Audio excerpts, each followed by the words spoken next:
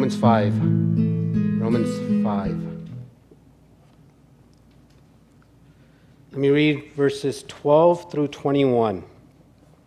Romans 5 12 through 21. Therefore, just as sin came into the world through one man, and death through sin, so death spread to all men because all sinned. For sin indeed was in the world before the law was given, but sin is not counted where there is no law. Yet death reigned from Adam to Moses, even over those sinning was not like even though over those whose sinning was not like the transgression of Adam, who was a type of the one who was to come. But the free gift is not like the trespass. For if many died through one man's trespass, much more have the grace of God and the free gift by the grace of that one man, Jesus Christ, abounded for many. And the free gift is not like the result of that one man's sin. For the judgment following one's trespass brought condemnation, but the free gift following many trespasses brought justification. For if, because of one man's trespasses, death reigned through that one man, much more will those who receive the abundance of grace and the free gift of righteousness reign in life through the one man, Jesus Christ. Therefore, as one trespass led to condemnation for all men, so one act of righteousness leads to justification and life for all men. For as by one man's disobedience the many were made sinners, so by one man's obedience the many will be called righteous. Now the law came to increase the trespass, but where sin increased, grace abounded all the more. So that, as sin reigned in death, grace also might reign through righteousness, leading to eternal life through Jesus Christ our Lord. We can't deny who we really are. You know, but that doesn't mean that sometimes we don't try, especially when we're in trouble. Consider the story of Darren. Darren was a young man from Illinois. He was wanted on a charge of on charges of possession of a controlled substance with the intent to deliver. Darren was guilty, and he was on the run, and the law was pursuing him. One day, the police actually caught up with him outside of an apartment community known for drug trafficking. And when they approached him, they asked him who he was. Darren, knowing he is guilty and he knows he has no escape, so he tells them the name of someone else. He says, I'm John Henry Jones. The police don't argue with him. They don't even have to. They just point to the tattoo on his arm that just says Darren all over it. Talk about tattoo regret, right? Um, and Darren tries to cover up and he goes, No, that's the name of my girlfriend. But he couldn't fool the police. They arrested him and they took him into custody where he would pay the punishment that his lawbreaking deserved. Darren could claim all he wanted that he was the innocent John Henry Jones, but his true identity was as plain as the tattoo that was on his arm. He was Darren, the lawbreaker. And no matter how much good Darren tried to do after breaking the law, he would always be Darren, the lawbreaker. And no matter how much good he did, he couldn't go back and unbreak the law that he had broken. The law would pursue him until he paid the debt that he owed. You see, you and I are not so different from Darren. Some of us have broken laws of the land, and some of us haven't paid our debt to society that we owe, and the law is after us. And it will continue to be after us until we pay up. But whether you have broken the laws of the land or not, all of us in this room, Scripture says, are guilty of breaking the laws of God. See, what that means is that we're all guilty, and no matter how much good we do from this day forward, it will never undo the fact that we have broken the law. We are guilty, and we will remain guilty until we pay the debt that we owe.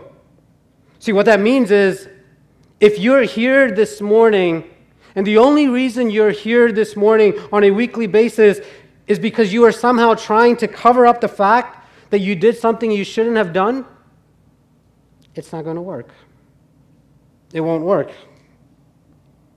If you are here and you're giving from this point forward to somehow cover up the fact that you were somewhere where you shouldn't have been, it's not going to work. For those of you who are thinking that it's now I need to be nice to strangers or maybe on a monthly basis go into a homeless shelter and serve there to outdo the fact that you are mean to your loved ones, it's not going to work. It doesn't work. You and I, according to scriptures, are lawbreakers. And as such, all of us are guilty. And it means because we are lawbreakers, the law will continue to pursue us until we have paid the debt that we owe to God. That's a pretty bad situation. In fact, that's a terrible situation. The question is, how did we get ourselves into this mess? Because it's too late now. All of us have screwed up. And more importantly, the question is, is there a way out? Is there a way out of this mess? The text that we read in Romans 5 answers both of those questions. And the way it goes about answering those questions is telling us the story of three choices there are three choices that are presented in this text, there, and we're going to look at those three choices this morning. There's the first Adam's choice, there is the second Adam's choice, and then there's our choice. And we're going to look at these choices, but it's a little difficult because if you were reading along with me, this text is really hard for us to understand. But if you follow it through, you'll see something incredibly beautiful in this text this morning. So let's begin and look at the first Adam. The setting of the first Adam was in a garden. It was in a garden called Eden. In Genesis 2, God created man out of the dust of the ground and he placed him in a paradise called Eden. And in that garden, God created trees to grow from the ground up with fruits all over it. He created things that were pleasing to the eye, he created things that were good for food. He not only provided all of this for Adam, but he also gave Adam a job to be responsible over this. He also gave Adam a wife. Today, the only thing that was missing would have been an iPhone, he had everything else. And God in the garden gives Adam a command in paradise. And he says this in Genesis 2 16 and 17. He says, You can eat of any tree in this garden. You can eat whatever you want. You can enjoy life here. But there's one tree, the tree of knowledge of good and evil. That tree you shall not eat. For in the day that you eat of that tree, you will die. See, what God has just done here is that God has just entered into a covenant with Adam. Adam becomes the mediator of that covenant for all of the rest of humanity. We will find that out later in Scripture. And when God enters into a covenant with his people, he always does so through a mediator, a representative. Adam is that representative. What that means is that if Adam keeps this covenant, then everyone he represents will share in the blessings of his obedience. But on the flip side, if Adam breaks the covenant, what that means is that everyone represented by Adam, all of humanity, you and I, will share in the curses of his disobedience. That's the setting. What's the decision that he ultimately makes? Well, into this paradise enters a serpent. And the serpent likes to tempt. He's a tempter. We find out later in Scripture that the serpent is Satan himself. The tempter comes to Adam and Eve and he says to Eve, Did God actually say that you can't eat from all the trees? Did God say that? Did God say that you can't eat of this tree? See, Adam and Eve are now faced with a choice, with a decision that they have to make. Will they choose to trust that God is good and that He doesn't withhold good things from them? And will they continue to obey God? Or will they choose on the other hand, to believe that God isn't so good and that God isn't so gracious as he seems, and maybe he's withholding something good from us, and we'll just circumvent God's law and sneak around him because we want everything good for ourselves. See, that's the decision that Adam and Eve are faced to make, and the reality is that's a decision you and I are faced to make every time we are tempted. Every time we're tempted to sin, it's a decision of do I trust God that He's good and He's given me everything that I need? Or do I think that God's not trustworthy and I need to disobey Him so that I can fulfill my own happiness? That's the decision that you're faced with. These are the only two options that you have. Will you trust that God is good and that He hasn't withheld anything good from you? Or will you believe that God has withheld something from you and you can still get it yourself? You just have to disregard what God says. That's at the heart of every temptation that we face, every single one. What does Adam and Eve do? We learn in Genesis 3 that Eve took of its fruit and ate, and also gave some to her husband who was with her, and he ate. Such a small thing. I don't know why, but we had apples sitting outside this morning, and I was like, it fits perfectly into this story. It's like such a small thing, eating of a fruit. But Adam failed the test. Adam had just broken the covenant, not only for himself, but for everyone that would come after him. There's an Old Testament scholar by the name of Derek Kidner, and he reflects on this passage and he makes the statement, should be in your notes. It says, So simple the act, so hard its undoing. God will taste poverty and death before the words take and eat actually become verbs of salvation. To say that this act was disastrous is a major understatement. To see the results of what happened, we need to look at the passage that we re- just read in Romans 5. Romans 5 12, Paul tells us the result of this. In verse 12, he says, Therefore, just as sin came through one man, and death through sin, so death spread to all men because all sinned. Through this one man, Adam, sin came into the world. In other words, the toothpaste has left the tube. You can't put it back in. There's no way to get it back, undo what it's done. And with it comes death. You see, that's clear enough. You can look around the world that we live in and see that this is a world of cemeteries, isn't it? But there is something somewhat perplexing about this statement that Paul makes here he says that spread, death spread through all men because all sinned. What does it mean that all sinned? Does it mean that, like Adam, we all who have come after Adam, we also sinned and subsequently we also die? Is that what it means? Or does it mean that when Adam sinned, as your representative, you also sinned in him and with him before you even existed. I'll tell you, as hard as it is to get your mind around, it's the second part that's true. And I'll show you why here in a second. He goes on in verse 13, he says, For sin indeed was in the world before the law was given but sin is not counted where there is no law. We could all agree on that. We can see the story of Cain and Abel. We see the story of the flood and all the sin that was going on in the world. Sin was in the world before God gave Moses the law. But he says that sin is not counted where there is no law. If sin is not counted where there is no law and death comes through sin, then between the time of Adam and Moses, no one should have died. But look at verse 14. It says, Yet death reigned from Adam to Moses even over those whose sinning was not like the transgressions of Adam, who was a type of the one who was to come. Even over those, between the time of Adam and Moses, death reigned. On what basis? On the basis of the fact that all of humanity was represented in Adam, and when Adam sinned, we all sinned. That's why. See, this is difficult for us to grasp. And the reason is we don't totally get the idea of a covenant and a covenant representative. But that is exactly what Paul goes on to talk about in the rest of the passage. You can look at verses from 15 to 19, and he says over and over again, It's through one man that sin has come. It's because of this one man's action that we're suffering. Through this one man who is your representative, in whom and through whom you sin and you fell.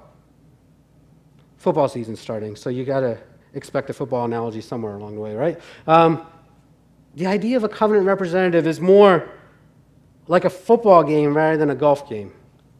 Here's how in a golf game, if a golfer breaks the rule and you make an infraction, the only one that suffers is the golfer himself. He's the only one that suffers. But in a football game, there's 11 other players on the field with you.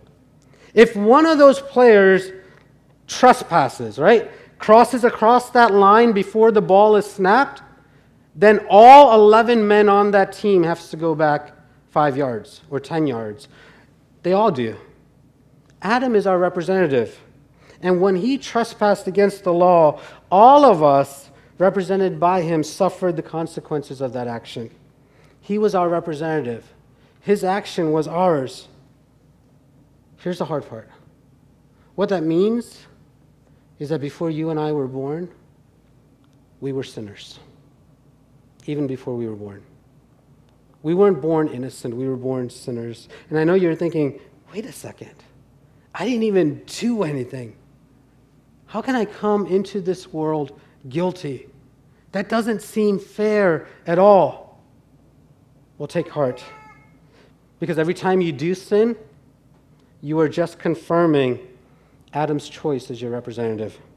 Every time you sin, you are saying along with Adam, yes, God is a God who cannot be trusted. If I want what is good, I have to go around God and get it myself. Paul says in Romans 2 that it's on the basis of that that we will be primarily judged. But that is so hard for us to get. Paul says in another place in Ephesians 2 something that's, if you read it and you understand it, sounds offensive. He says in Ephesians 2 that we are by nature children of wrath. By the very virtue of being born into this world as a son and daughter of Adam, you are destined for God's wrath.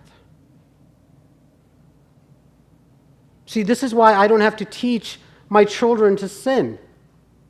I don't have to teach them to be bad. They've got that part figured out all by themselves. It might be my genes, whatnot, but they've got that part figured out. I don't have to teach my son to go hit his sister when he doesn't get his way. He knows how to do that on, on and of himself. I don't have to teach my two year old to throw a hissy fit in the middle of Walmart when I don't buy him candy. I don't have to teach him those things. But I do have to spend time teaching him how to be good. I have to teach him how to obey. I got to teach him how to be nice. Those are the things I have to teach him. The sin and the evil, the stuff that comes out, they just come out, right? No one had to teach you to get angry when someone crosses in front of you and when you're driving, cuts you off. No one had to teach you that. No one had to teach you to get angry when someone says something against you. No one had to teach you any of these things. Jesus says all of that comes from inside here. It comes from your heart. Out of your heart, it comes jealousy and anger and lust and all this stuff. All of that stuff is already inside of you. It just comes out when other people expose it. Jesus says you already have it. They come right here because you are by nature a sinner. And because you're by nature a sinner, you consequently sin. I remember when Tim was like a year old. Like he didn't know if he would understand what I was saying, but he would go to the outlets and try to touch it, right? And I'd be like, Tim, don't touch it. And he would look at me and crawl away from it. But then I was watching him. He would slowly crawl to the outlet, turn around, look at me to see if I was looking totally understood what I said. And if I wasn't looking, he was trying to reach. But if I was keeping my eyes on him, he wouldn't touch it. I didn't have to teach him to be sneaky around his parents. Those things we do by nature. That is our nature. Listen, that's terrible news. We are guilty. We are under the verdict of guilt. All of humanity after Adam is under the verdict of guilt and judgment because we are all covenant breakers. Thankfully, Adam isn't the only mediator that we have. In verse 14, Paul tells us that Adam was the type of one who was to come. Adam is a shadow that, fo- that points us forward to a greater reality, one that is true, one that is better, one that's coming later. And so we come to the choice of the second Adam. See, under the first Adam's representation, we're all alike. We're covenant breakers. The covenant cannot be unbroken. We can't go back and unbreak it. So, apart from God's mercy, we have no hope. But God is a merciful God. And immediately after Adam and Eve fall, God sets this plan into motion whereby He's going to now establish a new covenant. And He's going to appoint a new covenant mediator. And this mediator is Jesus Himself. See, just like Adam, Jesus came into this world in a very special way. Adam was created from the dirt by God's own very hands. Jesus was divinely conceived in the womb of Virgin Mary. He will be the head of a new humanity, created by the Spirit of God. And what does the second Adam do? Well, like the first, he has to keep the covenant. And let's consider the setting in which Jesus has to do this. The first Adam had to keep the covenant, he just had to do one thing don't eat of that one tree. If you don't eat of that one tree, you and everyone after you will enjoy and experience the blessings of obedience.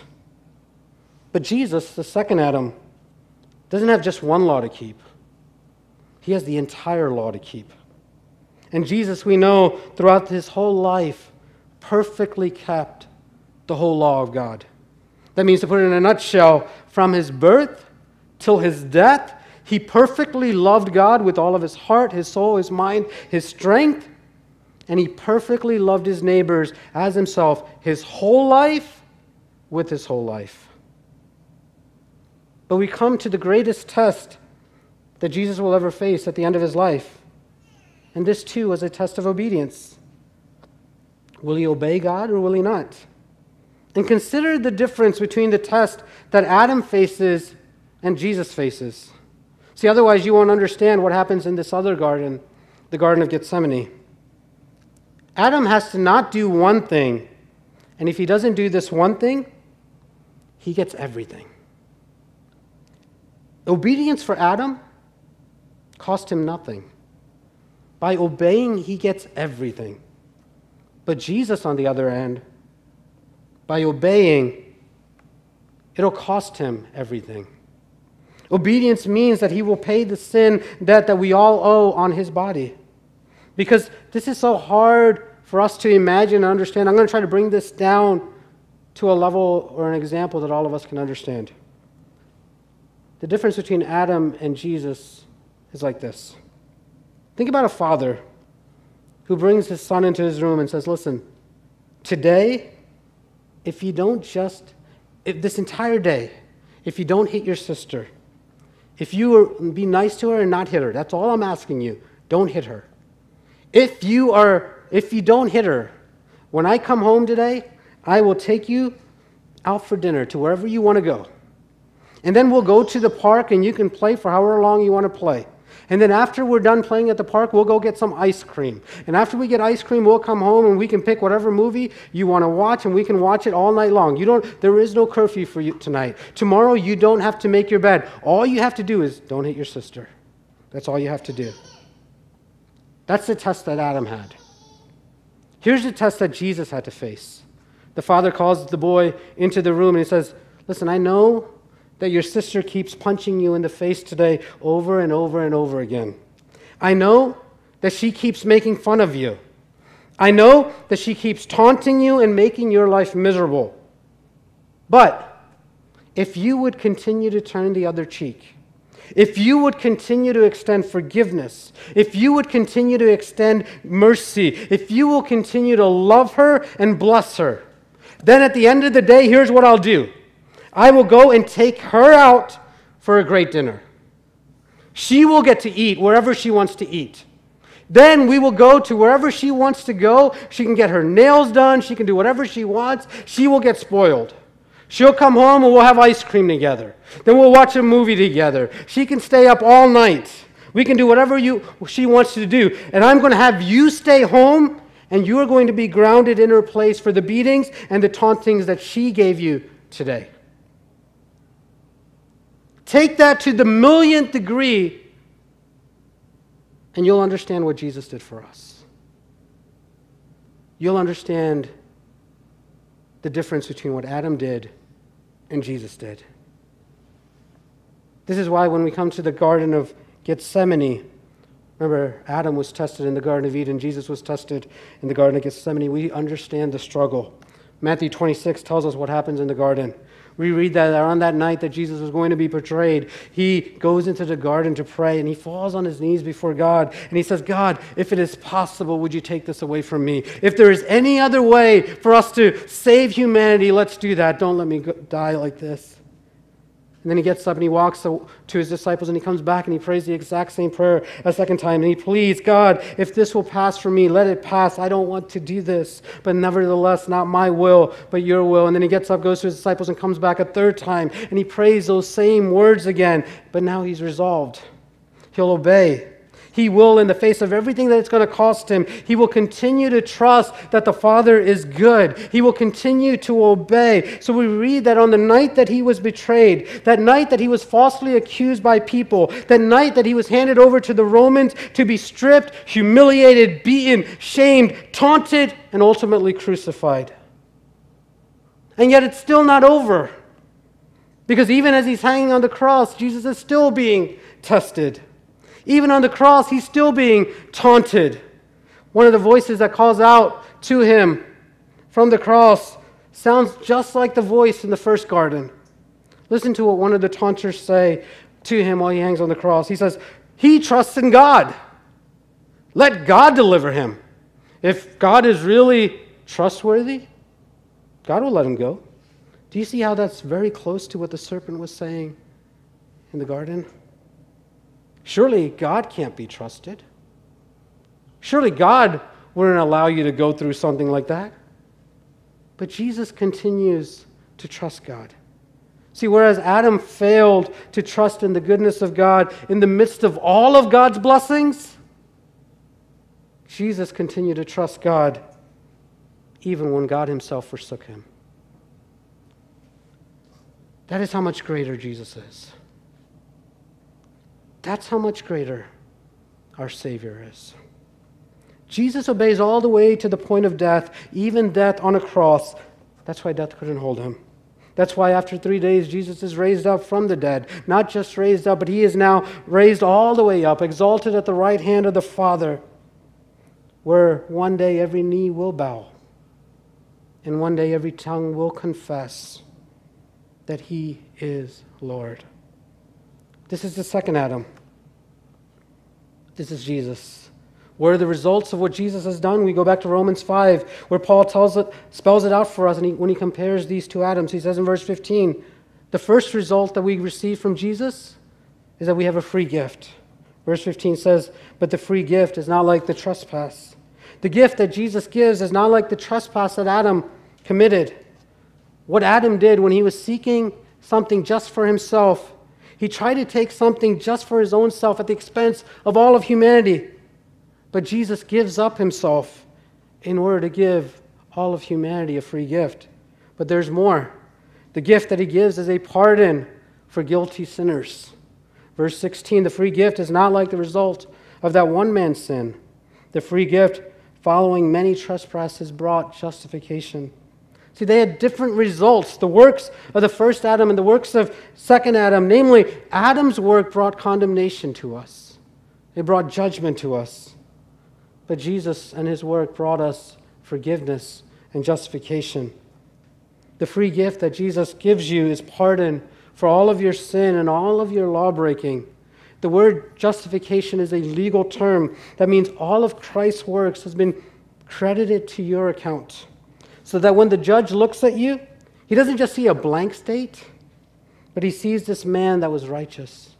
He sees this woman that was righteous. That's Jesus' record being put into your account. That's what Paul is saying here. That because of what Jesus did, when God looks at you and when God looks at me, he doesn't see all the sins that we've done, he doesn't see all the mistakes we made. He sees Jesus and he treats us as if we lived the life that Jesus lived. Think about how much greater Jesus' work is than Adam. Adam did a very powerful thing in a sense. Through one sin, all of humanity dies. That's powerful. This one man screws up, and all of us are suffering. But it says Jesus, after many, many, many sins, through one act of righteousness, makes us right with God through one act of righteousness. Not just after one sin, but after all of our sins. Through his one act, he brings full pardon, full righteousness credited to your account. Listen, that's the power of grace.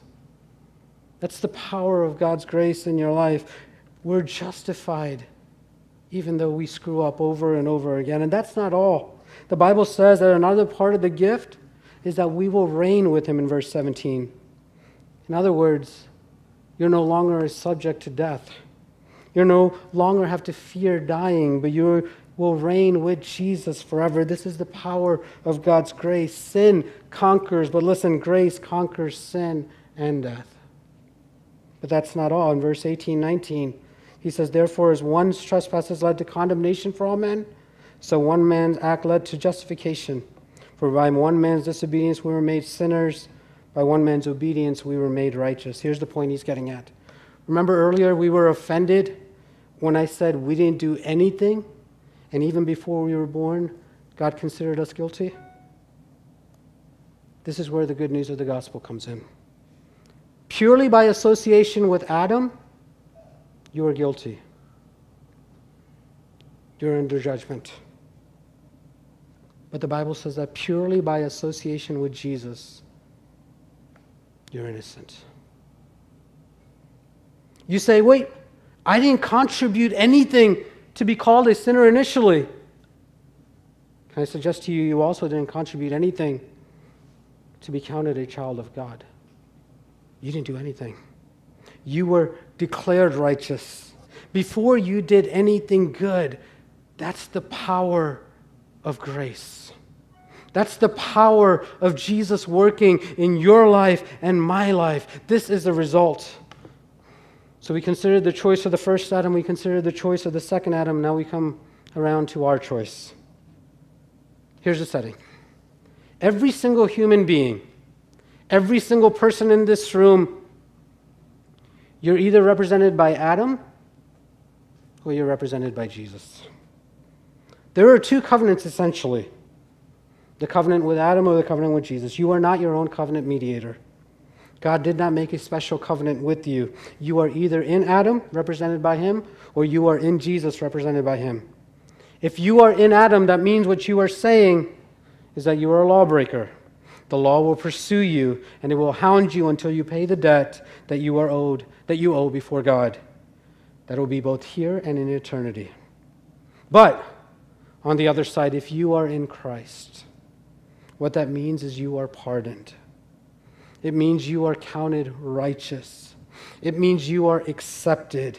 It means you are forgiven. It means you are loved. It means you belong to Jesus. It means you have been given eternal life and you will reign with Jesus forever and ever and ever. These are the two choices that are before you. These are the two choices for every man and every woman. And so we come to the decision who will be your representative? Who will be your representative? Let me be clear here. Christ becoming your representative doesn't happen by you trying to keep the law from this point forward. I'm not telling you that what you need to do is start obeying all this stuff and then Christ will become your representative. That would be called good advice, but that's not the gospel. The gospel is good news. It's about something that's already happened. It's about something historical that is now actively working in our lives. And what is done is that Jesus has paid the full debt for all of his people. And now that's a gift that he offers us. How does one, being represented by Jesus, so that we could have forgiveness? How can one become represented by Jesus so that we could have forgiveness and life and life eternal? It's not for everyone alike. Paul gives us a clue in verse 17. He says, Much more will those who receive the abundance of grace and the free gift of righteousness. A paycheck is something you earn. You do your work, you get paid. You earned it. But what Jesus is offering here is not a paycheck. This is you coming to Jesus with all of your sin, all of your brokenness, all of your screw ups, with your hands wide open, hands of faith, and Jesus gives you his righteousness freely. Not based on anything that you do or will do, but he freely gives it to you. And we come and we say, God, I want your righteousness. I want your gift of pardon. I want your life that you offer me. I receive you as my representative. So you can make that choice today, and you will discover that if you choose Jesus, that even the reason that you choose Jesus is because he was working in your life. He's working in you, he's drawing you to him. Do you see how clear the choice is? You can choose death and condemnation and guilt and judgment. But you could choose that when you're offered life and forgiveness and freedom. That's the choice that we have. I recognize that most of us in this room have already chosen Jesus to be our representative. So let me quickly remind you who are followers of Jesus the result of that decision today. Let me remind you the result of the gospel working in your life. First of all, because Jesus is your representative, you're not guilty. You are not guilty. See, even after we become Christians, we still screw up, do we not? We still break the law. We still sin. We still experience guilt. But after we become Christians, we don't have to pretend we're not guilty anymore. We can simply confess it to God and know that we're not guilty anymore. We don't have to deny who we are. We can be. We can be honest. We can be honest both with God and we can be honest with each other. We can say, I've sinned. Thank you, Jesus, that my sins are paid for. Thank you that because you died, I am not guilty. See, some of you in this room are incapable of feeling guilt today. All the stuff I talked about, and you still don't feel in your heart that you really are guilty. To you, you ha- I ha- say to you, you have to, according to God Himself, on the basis of Adam's work alone, regardless of what you've done or haven't done, you are guilty before God. You are. But some of you in this room simply cannot believe that you are not guilty. To you, I say the same thing. On the basis of what Jesus did for you, you are not guilty. You have to believe, Scripture says, about the work of the second Adam. You either have all of Adam or you have all of Jesus. If you have all of Jesus, you are not guilty today. So confess the sin, let it go, leave it behind, move forward, trust that it's been forgiven. You are not guilty. Secondly, you are not condemned. Basically, the same thing I said before, but it's worth saying twice. There is no more condemnation. After you fall into sin and you forget that God is good and you forget that God can be trusted and you go the other way, it doesn't mean that you have to condemn yourself anymore. You're not condemned, you're forgiven. Third, you reign in life. We already reign, Paul says. And finally, your sin will always be less than God's grace. Your sin will always be less than God's grace. Listen, you will never, never out sin the grace of God in your life. You'll never do that. You can never do enough to overcome what Jesus has already done. Sin is strong, but grace is amazing. Sin is powerful, but grace is incredible. The grace of God. See, I can't tell you enough about it. I try to think about how to put it in words, but I can't do it. Listen to what Paul says in verse 20. The law comes in to increase the trespass, but where sin increased, grace abounded all the more. Here was sin coming in, and sin's coming in, and sin is coming in, and our sins are piling up. And it's not that grace just came and came alongside of it. It's no, bam, grace came, and we're now new. Grace just popped on the scene and completely changed you and me the grace of God. Listen, when grace grips your heart, when you are, realize that you are living under the grace of God, you can't just talk about it. That's why we sing about it. That's why, from ages, songwriters have written songs over and over about God's grace. And you can't just talk and you can't just sing about it. That's why you live it. The grace that was offered to you, you now extend to other people. Because you know, and I know, that we don't deserve it.